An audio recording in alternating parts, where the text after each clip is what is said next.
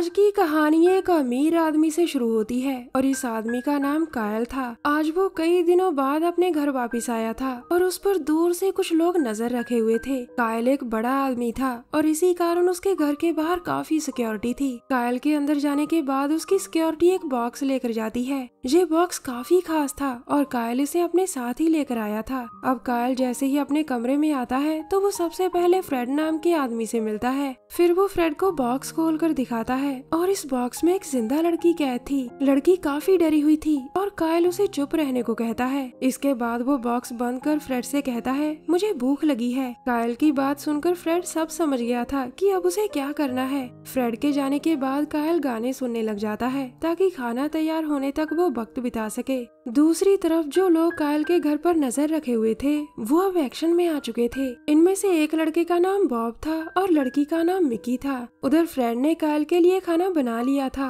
और खाने की खुशबू सूंघकर कायल बहुत खुश होता है। उसी वक्त घर के बाहर बॉब सिक्योरिटी वालों को पीट रहा था और उसका तीसरा साथी पीटर बेहोश हो चुके सिक्योरिटी वालों को वैन में कैद कर रहा था। घर के अंदर फ्रेड कायल के सामने उसी लड़की के हाथ परोसता है, जिसे कायल बॉक्स में कैद करके लाया था। फिर वो कायल के सामने लड़की का और भी मीट रखता है और इतना मीट देखकर कायल बहुत खुश होता है। अब वो जैसे ही मीट खाने लगता है, तभी वहाँ मिकी आ जाती है। वो आते ही फ्रेड को एक तस्वीर दिखाकर पूछती है, ये लड़की कहाँ है? इसके जवाब में फ्रेड और कायल कुछ नहीं बोलते और तभी मिकी की नज़र मीट पर पड़ती है। लड़की के हाथों और मीट को देखकर वो सब समझ गई थी कि फ्रेड और कायल कैनिबल हैं और इन दोनों ने उस लड़की को मार दिया है। उन दोनों का सच जानकर वो तब तक गोलियाँ चलाती है, जब तक कायल और फ्रेड की मौत नहीं हो गई थी। कुछ देर बाद बॉब, पीटर और मिक्की तीनों दोस्त अपनी वैन में बैठकर वापस लौट रहे थे। दरअसल कायल जिस लड़की का मीट खाने वाला था, वो लड़की मिक्की की बहन थी। ये तीनों उसे ही बचाने के लिए कायल के घर गए थे, लेकिन फ्रेड ने उसे पहले ही काट दिया था। अगले दिन सुबह ये तीनों दोस्त एक हॉस्पिटल में आते हैं। इस हॉस्पिटल में लिवा नाम की एक औरत दाखिल थी और उसकी देखभाल उसकी बेटी टीना कर रही थी। ये तीनों दोस्त यहाँ बीमार लिवा को मिलने आए थे,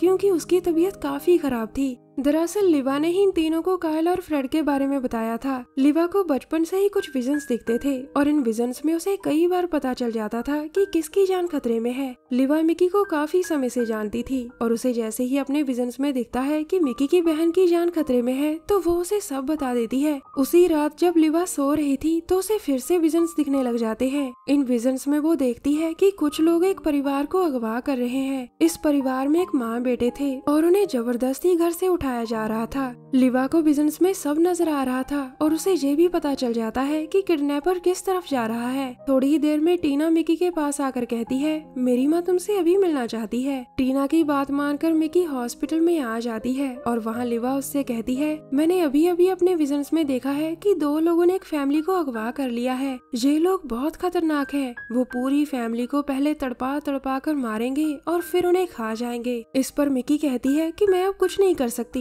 तुम्हें जैसा पुलिस को बताना चाहिए। अब लिवा कहती है, पुलिस मेरी बात पर यकीन नहीं करेगी। अगर वो किसी तरह यकीन कर भी लेगी तो तब तक तो काफ़ी देर हो जाएगी। इतना कहकर वो मिकी को समझाने लग जाती है कि तुम्हें उस फैमिली को बचाना चाहिए। उसके बार बार समझाने पर मिकी फैमिली की मदद करने के लिए तैयार हो जाती है। सुबह होते ही मिक्की बॉब को सारी बात बताती है और वो भी मिक्की के साथ जाने के लिए तैयार हो जाता है। शहर से दूर एक वीरान सी जगह पर, इस जगह में ग्रे नाम की एक औरत बिली नाम के एक लड़के से बातें कर रही थी। इन दोनों के अलावा जहाँ लीला नाम की भी एक औरत थी, और इन तीनों को जहाँ किसी ने कैद कर रखा था। अब आता है इस कहानी का किलर, और उसे देखकर तीनों कैदी डर के मारे कांपने लग जाते हैं। किलर आते ही सबसे पहले बिली को पकड़ता है, और फिर उसे दीवार से मार मार कर बेहोश कर देता है। बिली के बेहोश होने के बाद वो उसे उठाकर वहाँ से चला जाता है। थोड़ी ही देर बाद वो फिर से वापिस आता है और इस बार वो जैसे ही ग्रे की तरफ़ बढ़ने लगता है तो लीला चिल्लाकर उससे पूछती है, तुमने मेरे बेटे का क्या किया? इस पर किलर उसके पास आकर कहता है, डरो मत, पहले मैं तुम्हें खाऊँगा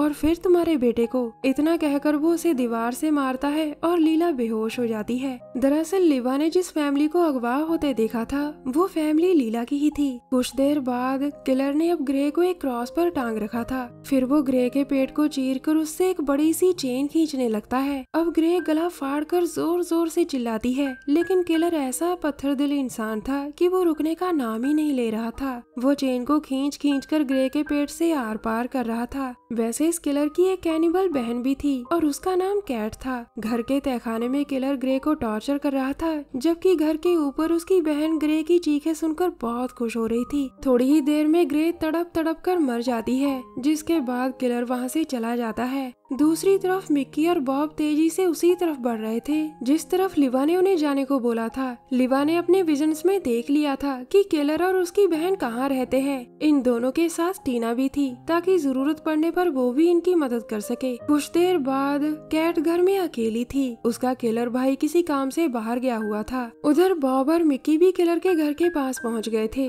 वो टीना को वैन में ही रुकने को कहते हैं। उसी वक्त कैट ग्रे की लाश के पास आती है, जो घर के वॉशरूम में पड़ी थी। वो आते ही उसकी लाश से मीट काटने लग जाती है और फिर मीट पर उसका खून भी डालती है। अब कैट मज़े से ग्रे का मीट खाते खाते वॉशरूम से निकल आती है। दूसरी तरफ़ मिक्की और बॉब एक स्टोर में पहुँच गए थे, जिसकी एक दीवार के पीछे वही तहखाना था, जिसमें लीला कैद थी। उसे जैसे ही एहसास होता है कि स्टोर में कोई आया है तो वो मदद मांगने लग जाती है। उसकी आवाज़ सुनकर मिक्की उसे शांत रहने को कहती है, और फिर वो बॉब से कहती है, तुम इसकी मदद करो और तब तक मैं घर की तरफ़ जाती हूँ। कुछ देर बाद कैट को एहसास होता है कि जैसे घर के बाहर कोई हो, लेकिन इससे पहले उसे खिड़की से कुछ नज़र आता, मिकी जल्दी जल्दी छुप जाती है। कैट जैसे ही खिड़की से दूर होती है तो मिकी घर में घुस आती है। वो देखती है कि पूरे घर में जगह जगह खून और लाशें बिछी थी। उसे घर के कमरे में लीला का बेटा भी दिख जाता है। इससे पहले वो उसके पास जा पाती, तभी कैट उसे पकड़ लेती है। हालाँकि मिक्की उस पर गोलियाँ चलाने की कोशिश करती है, लेकिन कैट बार बार उसका निशाना खराब कर देती थी। उधर बॉब भी तहखाने में आ चुका था, जिसके बाद वो जल्दी जल्दी जल्दी लीला के हाथ खोलता है और इधर घर के अंदर मिक्की और कैट लड़ती लड़ती किचन तक पहुँच चुकी थी और इसी बीच मिक्की कैट के चेहरे पर गरम गरम पानी फेंक देती है।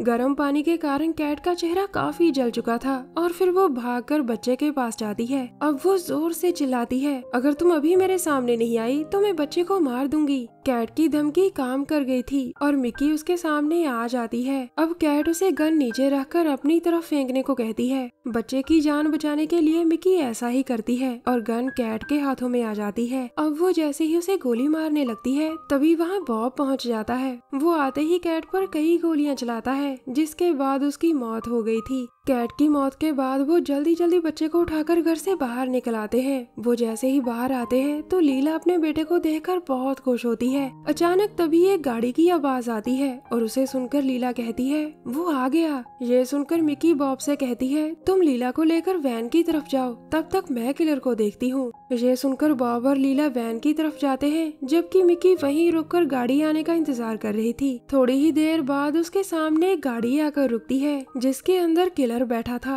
वो किलर को गाड़ी से बाहर निकलने को कहती है, लेकिन किलर उसकी तरफ़ एक कटा हुआ सिर फेंकता है। सिर देखकर मिकी बहुत डर जाती है और फिर वो गन की सारी गोलियाँ गाड़ी पर चलाती है। उसकी गन खाली हो चुकी थी, लेकिन किलर अभी भी ज़िंदा था। किलर जैसे ही गाड़ी से बाहर निकलता है तो मिकी डर कर वहाँ से भाग जाती है। गोलियों की आवाज़ टीना और बॉब ने भी सुन ली थी, जिसके बाद वो भी मिकी की तरफ़ दौड़ते हैं। बॉब जैसे ही घर के पास पहुँचता है तो किलर उसे पकड़कर बहुत मारता है। इसके बाद वो टीना के सामने ही बॉब को चाकू मारकर अधमरा कर देता है। अब किलर टीना को मारने वाला था और तभी पीछे से मिक्की आकर किलर पर कई वार करती है। इससे पहले कि किलर खुद को संभाल पाता, मिक्की उसके गले में चेन डालकर उसे एक गड्ढे में फेंक देती है और टीना जल्दी जल्दी उस पर ऑयल डालकर उसे आग लगा देती है, जिसके बाद किलर जलकर मर जाता है। कहानी के आखिर में बॉब ने मिक्की की बाहों में दम तोड़ दिया था। हमारी वीडियो देखने के लिए धन्यवाद।